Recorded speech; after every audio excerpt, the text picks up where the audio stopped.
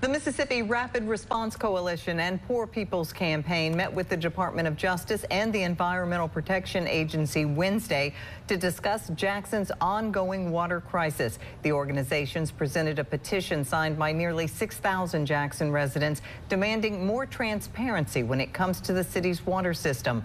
The coalition says they are asking to be included in discussions surrounding issues with water, where funds will be allocated to fix the water system, where that's going, and to limit the use of private vendors.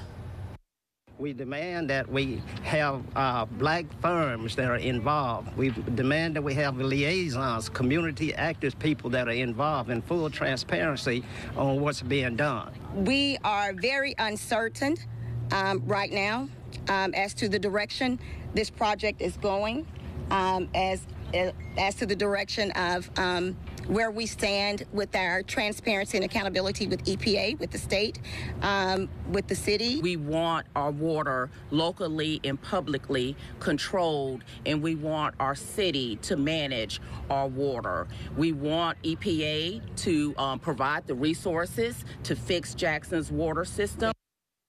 The coalition is also asking the EPA and DOJ to provide water filters to residents and businesses.